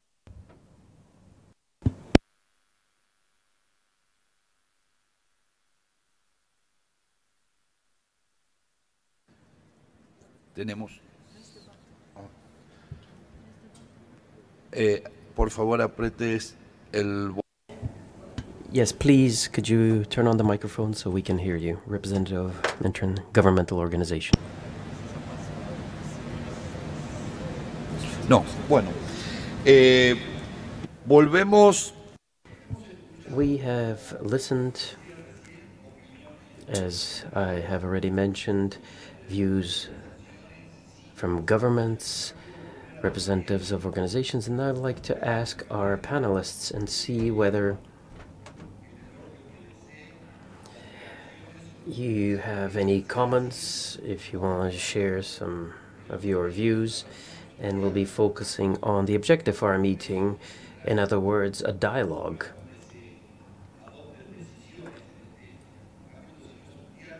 We are not adopting any decisions, but we are having an interactive dialogue. So I'd like to ask panelists whether you would like to react to what was said in the room. I'm not sure who would like to do that. Valentin, please. Thank you, Mr. Chair. I would like to thank to distinguished delegates from all countries who mentioned the role of civil society organizations in this process and uh, that uh, almost all countries are willing to uh, involve civil society uh, in uh, uh, solving these problems of land tenure. I fully agree with the distinguished representative of Switzerland that LDN can't be achieved without land tenure security. And uh, I want to thank a lot to distinguished delegates of uh, European Union who encouraged to involve civil society organizations in the process of uh, uh, in the uh, process of solving the problem, including uh, in the creation of the platform of uh, VGGTs. Thank you very much. Yes. Thank you. Uh, I would like to thank to all distinguished delegates as well on their enthusiastic attitude to the presenters on this important topic and respect to our recommendations and uh, asking about inclusion CSOs and other stakeholders in this process. I just would like to ensure and put more focus and add, according to the result of review of existing literature review of the five country analysis in Australia, Cameroon, Mexico, Philippines, and Tanzania, the legal recognition of collective customary rights promotes and enables conservation of natural resources and biocultural diversities. Therefore, it is very essential for land degradation neutrality. Also, the results shows that legal recognition of indigenous and community conserved areas or ICCAs that have been approved by IUCN and UNCPD have all built upon previous legal recognition of collective tenure rights and it contributed to the condition necessary for communities to manage their land in a way that achieves conservation results and land restoration. Thank you. Gracias, Najib. Thank you very much. Bueno, agradecer. Yes, I would like to thank all of the delegates that took the floor Senegal, Switzerland, the del delegate from the European Union, also India, Pakistan, that use these guidelines in order to ensure that countries can focus on questions of land tenure security at the individual and community levels, regardless of their origin, and look at the different features in specific countries. Indeed, land tenure security contributes in a great way to resolve social conflicts and conflicts related to land use. And these guidelines and national policies that are based on these guidelines on questions related to land tenure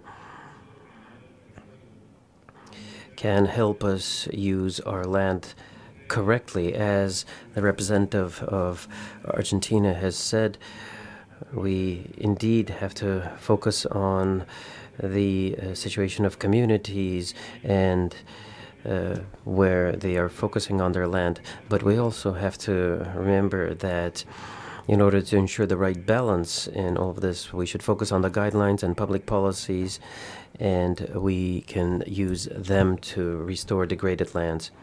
Thank you very much, uh, Ms. Fakumata. Bien. Euh, Thank you. I'd like to join my colleagues, other panelists, and to sincerely thank all of those who took the floor to talk about the question of land tenure, and especially those that focused on the role of civil society that can guarantee the uh, such land regimes that uh, land tenure systems that focus on the most vulnerable groups of the population, especially women and uh, children. And of course, there are already existing legal frameworks. And there are legal texts that already exist in our countries, but all of these have to be placed into the correct context of land uh, tenure systems. And without that, we won't be able to talk about food security in our countries. And I support what was said by Gabon because very often the efforts that are being put into place are not enough. It's uh, countries do not have the relevant uh, capacities, and African countries need support to do this work. Thank you. Gracias, señora. Thank you very much. I'll now give the floor to Nathalie.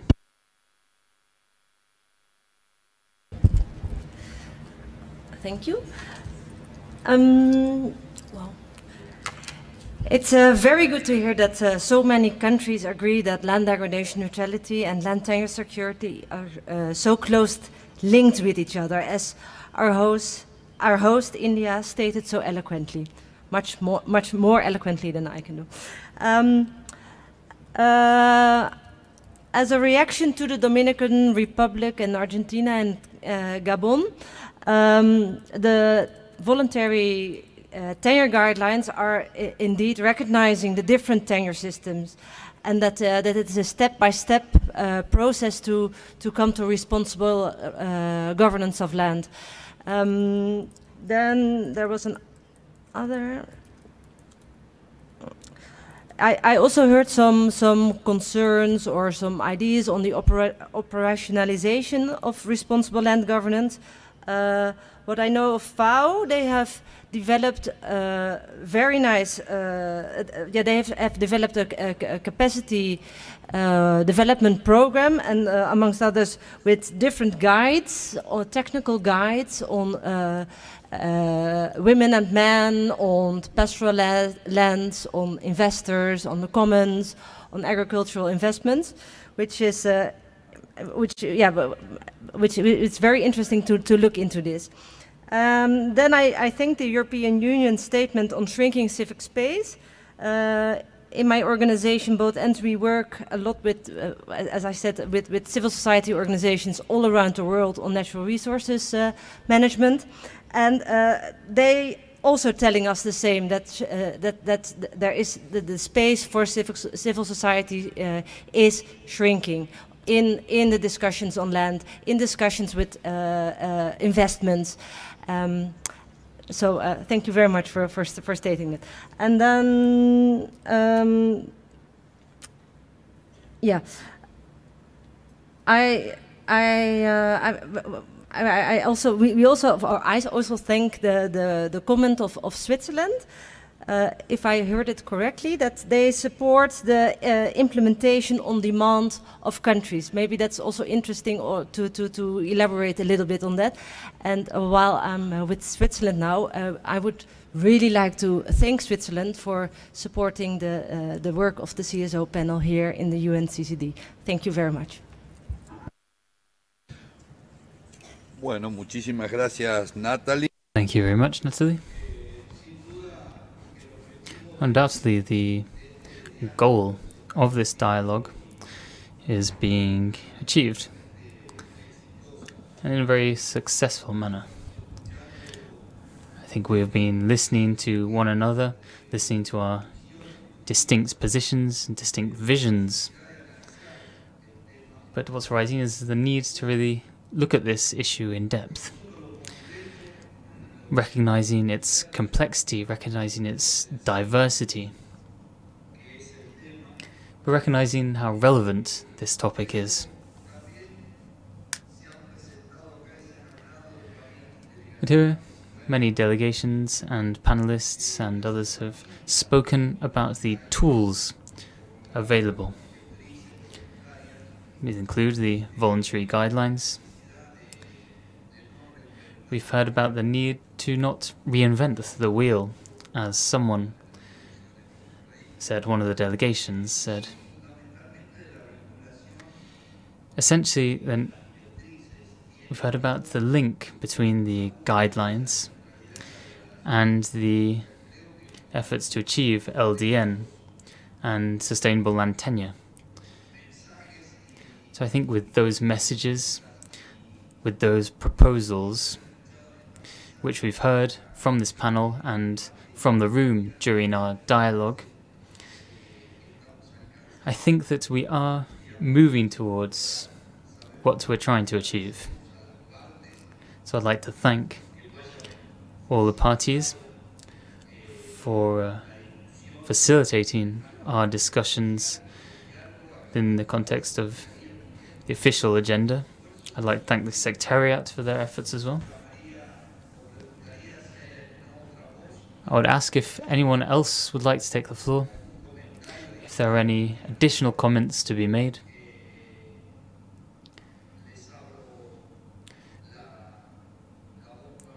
In any case, the floor is open once again if anyone would like to take the floor. At the back, I think. One second. Una agencia.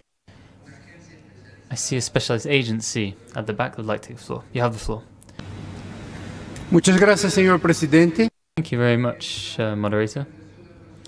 It's the United Nations Organization for Food and Agriculture, FAO, the FAO. I'd like to congratulate you on the outcome of this interesting dialogue. I think has been conducted in a very participatory manner. The FAO believes it's an honor to be able to take part with other countries and civil society organizations in the implementation of the voluntary guidelines on land tenure and governance of uh, forest resources and fisheries. These voluntary guidelines, as you know, were approved in the Food Security Commission, which is a joint commission of the FAO alongside FIDA and the World Food Programme. So this joint commission, CFS, met initially in 2012 and approved these voluntary guidelines. The FAO, alongside its partner organizations within the UN system, in particular those that are part of the CFS, are ready to support civil society organizations and member countries of the UNCCD to transform them into national and local guidelines and action. Thank you very much. Señor. Hi, thank you. Representative of the FAO?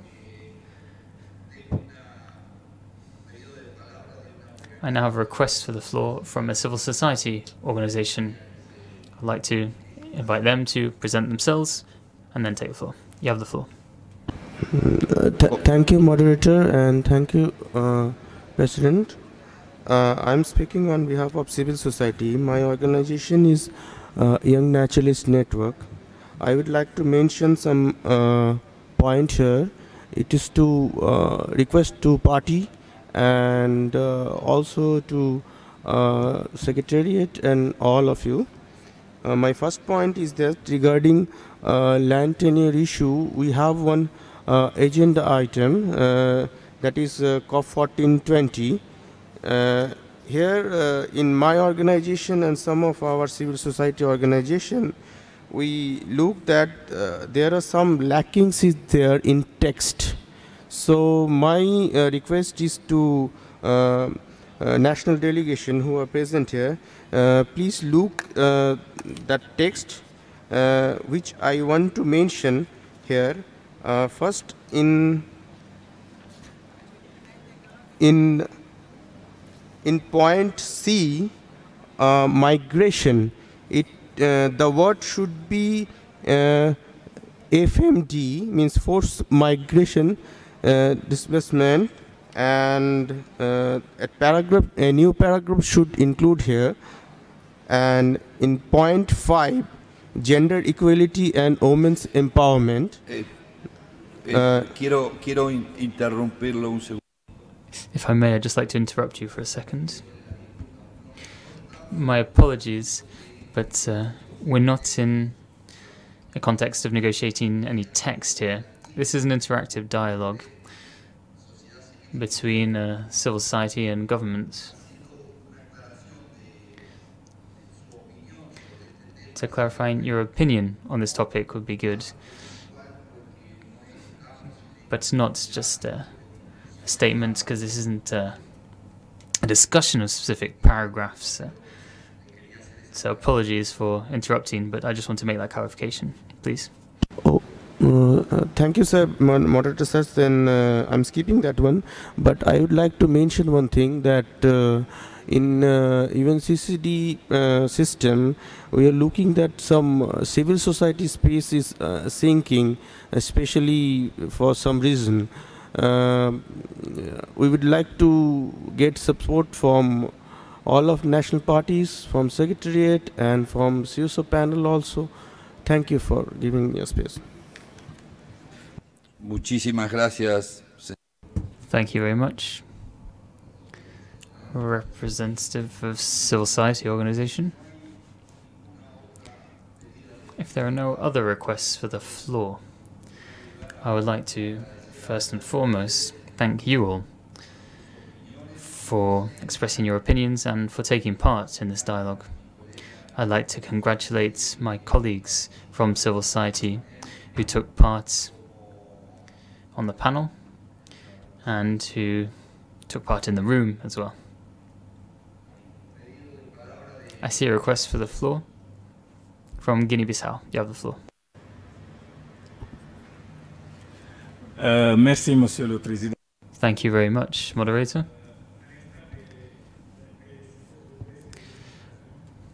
Following on from others who spoke for me, I'd like to start by congratulating the panelists. I asked for the floor because I felt that there was one aspect that was not very well clarified within the various presentations. They addressed many aspects, including uh, customary management and uh, land tenure. But I think there's one aspect that is fundamental, which is not mentioned, and that's uh, the integration of traditional management of uh, land resources with positive law. So, how to reconcile customary law and uh, Western law. I heard the colleague from the FAO talking about the guidelines established by the IFAD and FAO. These guidelines are of a Western nature, but need to take into account cultural aspects and social aspects and traditional aspects on the ground in other countries, and even uh, ethnic aspects of land tenure, or ethnological rather. So, land tenure is a very complex issue, which can vary from one country to another, and from one society to another, and from one ethnicity to another. So, all of these uh, issues need to be taken into account in uh, land reform, and land tenure reform needs to be carried out by states. I think this reform also uh, includes a food security sector in order to uh, manage natural resources as a whole, so forests, water, uh, fisheries. I think all of these areas are essential for uh, land tenure and land management. Thank you. Gracias, representante. I thank the representative of Guinea-Bissau for those comments. Now, if there are no more requests for the floor, I see the representative of the plurinational state of Bolivia is requesting the floor. You have the floor. Bueno. Eh, reciban los saludos. I'd like to express thanks of uh, Bolivia to all of our brother and sister states. Express our thanks to Mother Earth. And particular thanks to the president of this convention and to the secretariat. We'd like to focus on references uh, made by our brother country of uh, Guinea-Bissau in the sense that in Bolivia we're working on land tenure at the level of communities.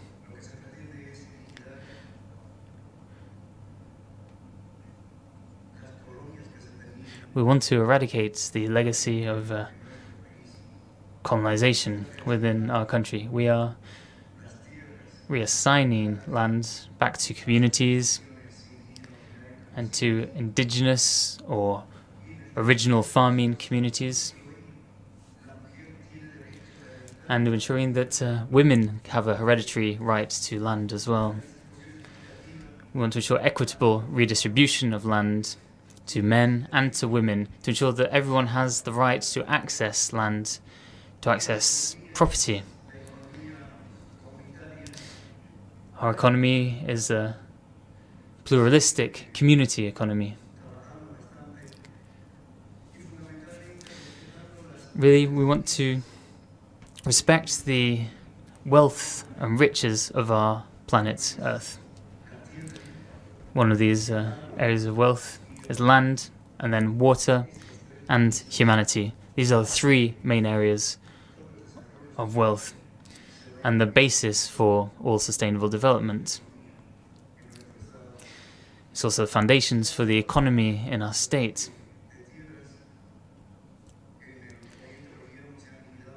So in eastern Bolivia, for example, we've uh, redistributed a large uh, proportion of uh, land back to communities, and now we're working to do this throughout the country, mainly in order to uh, take land back from these large corporations and redistribute them. We only take account uh, the uses and customs of our peoples.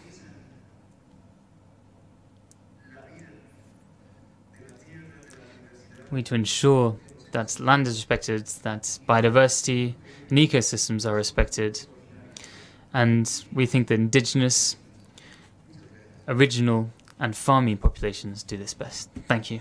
Gracias. I'd like to thank the representative of the plurinational state of Bolivia. Are there any other additional comments? I see no more speakers requesting the floor. So, once again, I'd like to thank you all for taking part in this dialogue. I'd like to thank the High Authority of the COP, the President, for taking part. I'd thank the Secretariat and thank you all for expressing your very diverse opinions and thoughts. I think we heard some very interesting opinions that will help us as civil society and uh, surely parties the convention to adopt the best possible positions within this COP on this topic.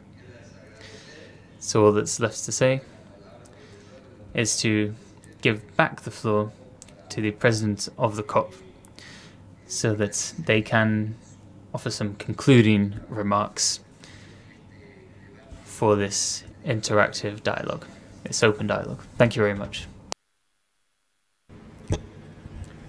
Thank you very much, Mr. Perez Pardo. I also thank our speakers today for their presentations and all the delegation and civil society organizations for actively participating in this important dialogue.